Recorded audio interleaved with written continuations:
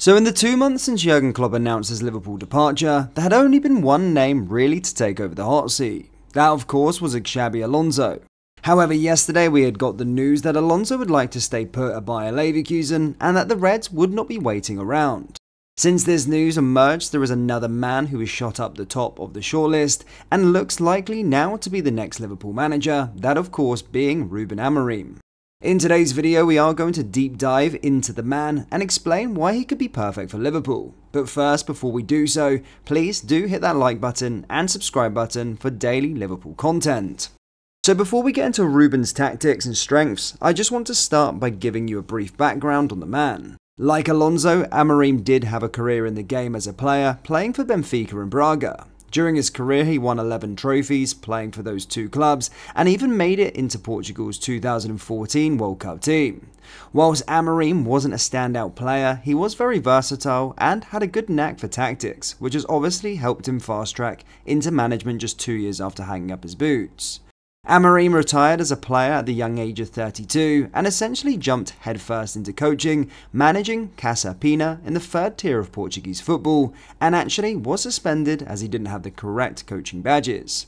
However, 2019 was a game changer for him. He took over Braga's reserve team and, in just three months, stepped in for the sacked Ricardo Sá Pinto as head coach of the main team. Believe it or not, he won the first title by defeating Porto in the Domestic Cup final three weeks later. But wait, there's more.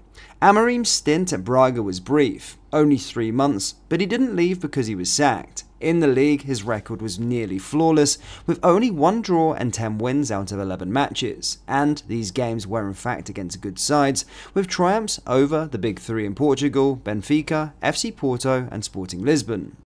This dramatic turnaround at Braga didn't go unnoticed, leading Amorim to Sporting Lisbon in March 2020. Sporting Lisbon shelled out 10 million euros for him, making it the third highest fee ever paid for a manager, and by God was it worth it. In his debut full season, Amorim did something that not many expected, and that was shatter the long-standing duopoly of Benfica and FC Porto, clinching Sporting Lisbon's first league title in nearly two decades. On top of that, he secured yet another domestic cup victory in the same season. The following campaign saw him leading the team to a respectable second place league finish and snagging yet another domestic cup, though the following season didn't meet expectations, with Sporting Lisbon landing in fourth place without any silverware. However, Amorim bounced back, steering the team to the top of the league table, and at the time of recording this video, Sporting currently leads the table by one point ahead of Benfica and seven clear of FC Porto, having played a game less than Benfica. Sporting's championship winning season was marked by a rock solid defence with the fewest goals conceded and an attack that was effective as it was thrilling. His approach didn't solely rely on experienced stars, instead, he placed a significant emphasis on developing young talent, perfectly balancing it with the wisdom of seasoned players, which would bode well for Liverpool. Now let's get into the nitty gritty and discuss Amorim's tactics. Ruben's go-to formation is undeniably the 3-4-3, the same that Conte did when whilst at Chelsea, and since then this formation has gained popularity within the Premier League. Amorim has applied this lineup in every game so far this season, favouring the 3-4-3 for its ability to generate offensive overloads in wide areas and facilitate seamless transitions to a 5-4-1 defence.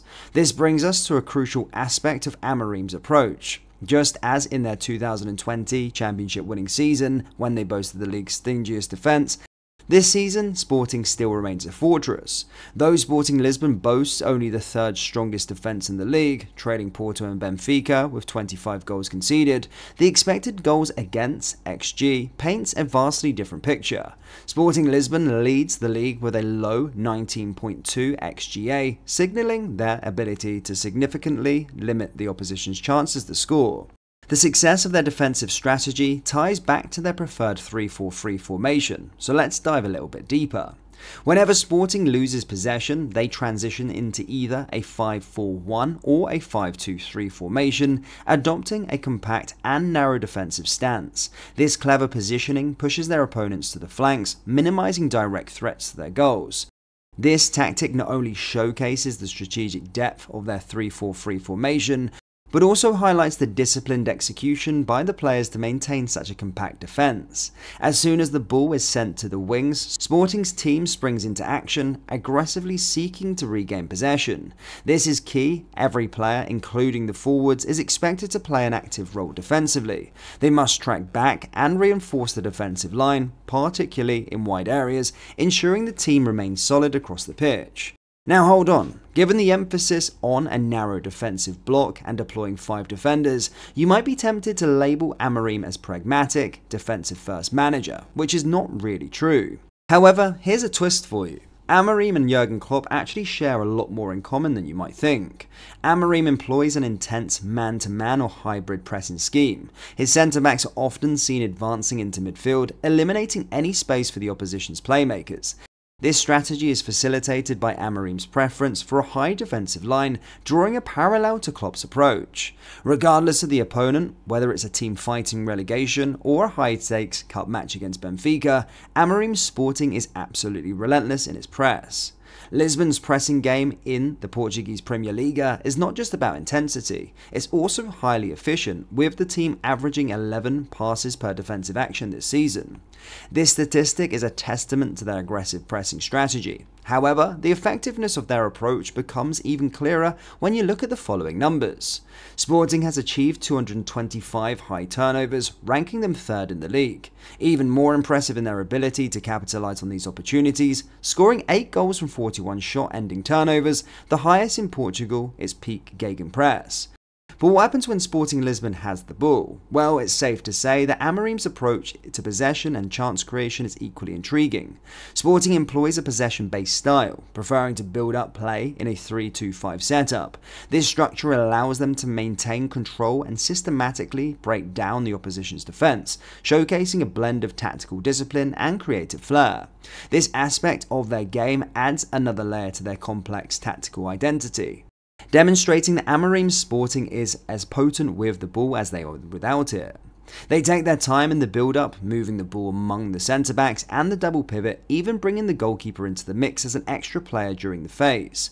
They're fourth in the league for the number of passes attempted, but it's their focus on short passes that really shows their patience with the ball. Sporting has made 6,403 short passes with a completion rate of 91.1%.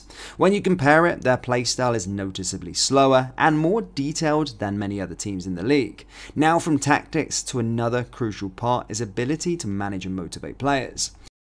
Amorim is renowned across Portugal for his larger-than-life presence. He's a natural leader, a catalyst for change, oozing charisma and conviction. The kind of person others gravitate towards and want to follow. His ability to communicate effectively, tailoring his approach to meet individual needs, is what sets him apart. Crucially, Amorim has demonstrated an incredible ability to balance egos, blending seasoned professionals with emerging talents to forge a united team. His open and forthright manner has won his admiration from players, colleagues, and the press. In the pressure cooker atmosphere of Liverpool, such man management prowess could be vital.